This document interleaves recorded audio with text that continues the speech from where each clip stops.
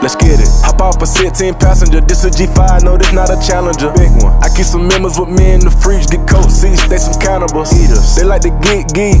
Drink a whole bottle, wake up and repeat. Damn. She took a